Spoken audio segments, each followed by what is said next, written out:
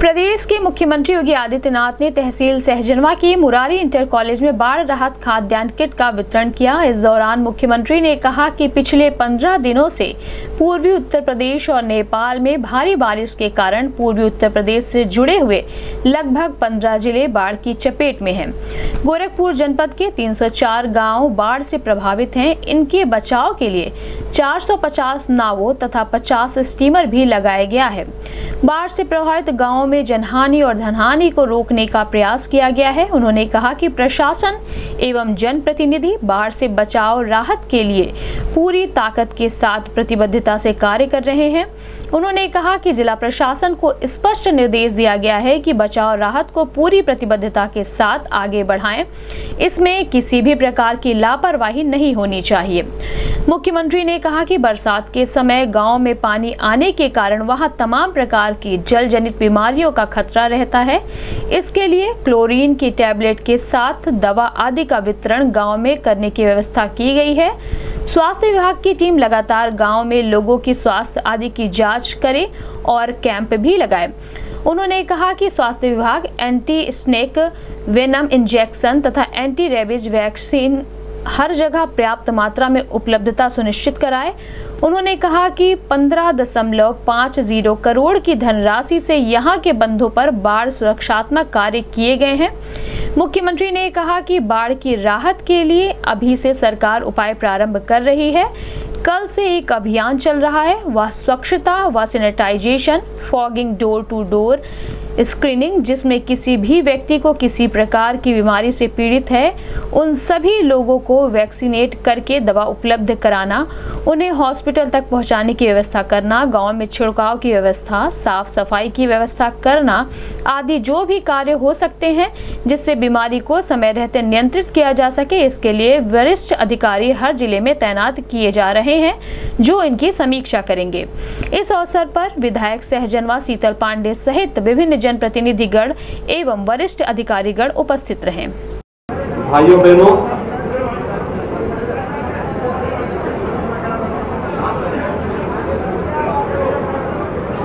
पिछले पंद्रह दिनों से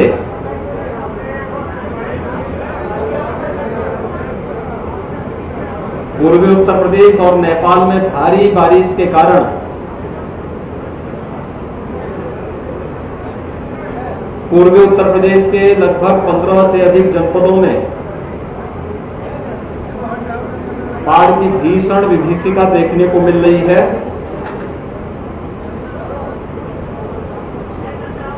इस आपदा के समय में जिस धैर्य के साथ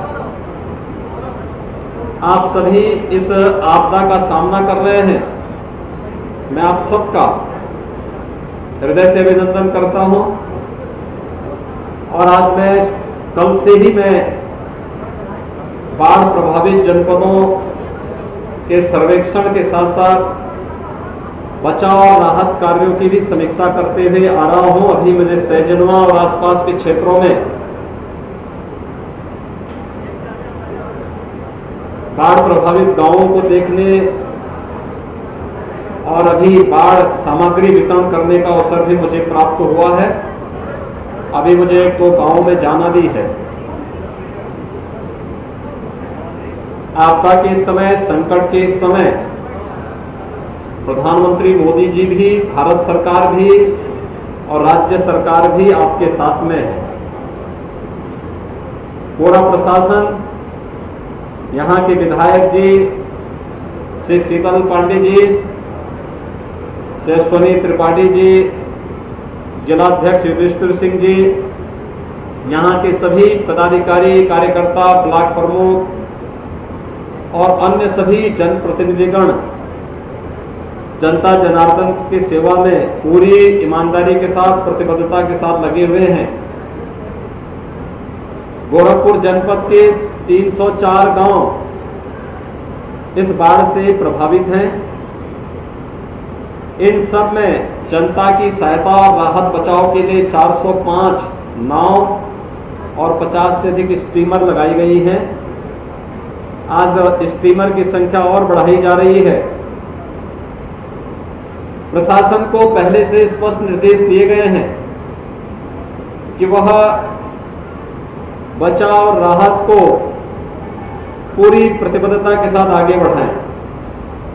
इस संबंध में कोई लापरवाही नहीं होनी चाहिए। और प्रशासन यहाँ पे जनप्रतिनिधियों के साथ मिलकर के पूरी तत्परता के साथ जनता जनार्दन की सेवा में लगी है।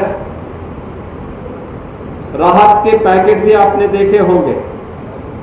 हर प्रभावित और पीड़ित परिवार को 10 किलो चावल 10 किलो आटा 10 किलो आलू 2 किलो दाल, नमक, मिर्च मसाले, बरसाती और भी अन्य सामग्री, चना, भूजा सभी पर्याप्त मात्रा में उपलब्ध करवा रहे हैं। ये भी व्यवस्था की जा रही है कि दवा की मेडिसिन किट भी हर पीड़ित परिवार को उपलब्ध कराया जा रहा है। उसमें पूरा लिखा जा रहा है कि किन स्थितियों में कौन सी दवा कब लेनी है। क्लोरीन की टैबलेट भी, क्योंकि इस समय बरसात का पानी है इसके कारण डायरिया की शिकायत हो सकती है, अन्य जल जनित बीमारियाँ हो सकती हैं। इसके लिए क्लोरीन की गोलियाँ भी वितरित की जा रही हैं, जिससे अगर किसी भी व्यक्ति के सामने कोई समस्या आती है तो डॉक्टर्स की टीम भी हर बाढ़ प्रभावित क्षेत्र में निरंतर दौरा कर रही है। बहुत सारी जगह कैंप भी कर रहे हैं, कंट्रोल रूम के माध्यम से, बाढ़ चौकियों के माध्यम से। निरंतर हर स्थिति पर निगरानी रखने का कार्य भी किया जा रहा है। जनपद स्तर पर पर्याप्त संसाधन और पर्याप्त धनराशि उपलब्ध कराई गई है।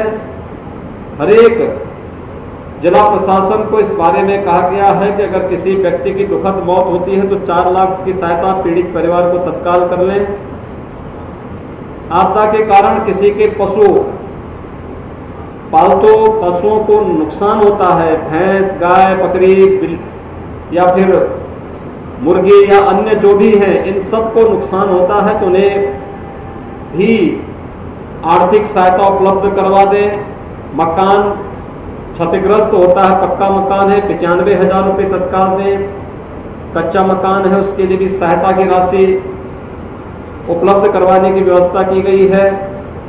बाढ़ और नदी की चपेट में अगर पूरा मकान चला गया है तो ज़मीन का पट्टा के साथ साथ मुख्यमंत्री आवास योजना से भी मकान उपलब्ध करवाने के लिए प्रशासन को कह दिया गया। पूरे आदेश पहले से निर्गत किए गए हैं।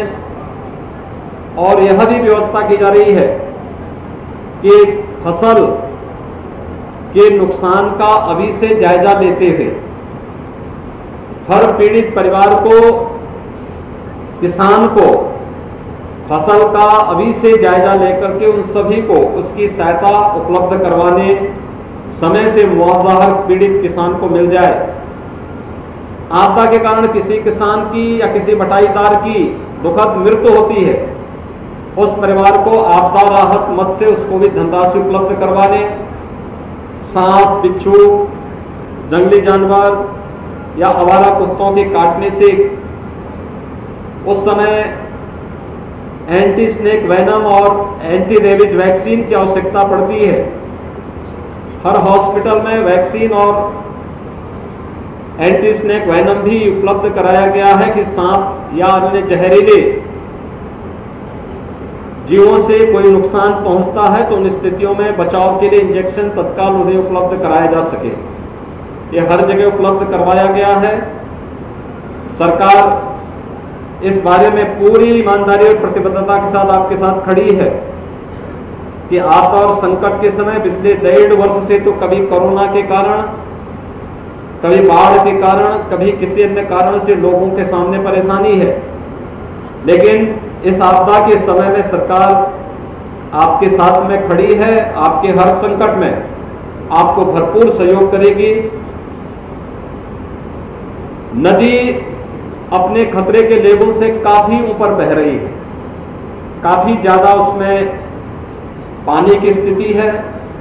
लगातार उस पर निगरानी रखी जा रही है। समय से किए गए कार्य यहाँ पर सहजनवा डोमरिया तटबंध पर भी चौरमा रिटायर्ड तटबंध पर, माडर तटबंध पर बोक्ता बलवार बाँध पर भी यहाँ पर कार्य हुआ और बाढ़ के ठीक पहले ही यहाँ पर लगभग साढ़े पंद्रह करोड़ रुपए की धनराशि इन तटबंधों की मरम्मत, कटान अवरोधक जो भी आवश्यक उपाय किए जा सकते थे, इन पर खर्च करके उन्हें सुरक्षित करने का पूरा प्रयास किया गया है, जिसके कारण तटबंध सभी सुरक्षित हैं।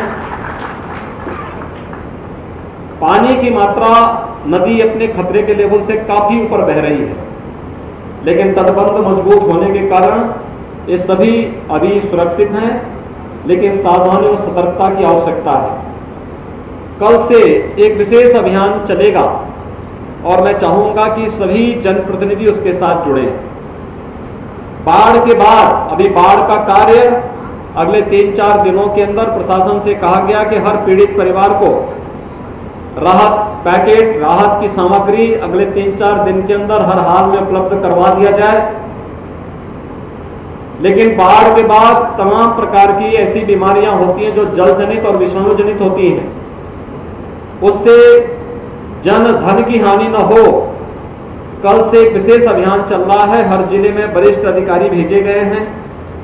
स्वच्छता, सैनिटाइजेशन, फॉगिंग, छिड़काव, बीमारी से बचाव के लिए स्क्रीनिंग की व्यवस्था, अन्य तमाम प्रकार के कार्यक्रम प्रारंभ होंगे। मैं सभी जनप्रतिनिधियों से अपील करूँगा कि अपने अपने फ़ील्ड में रह करके जनता जनार्दन की सेवा के लिए कार्य करें, जिससे आपदा के साथ साथ इस बाढ़ की विभीषिका के बाद भी कोई संकट आता है तो उससे समय से निपटा जा सके। इस संकट के समय में सरकार आपके साथ में है। आप सबके सुख और समृद्धि की कामना करता हूँ। धन्यवाद। जय हिंद।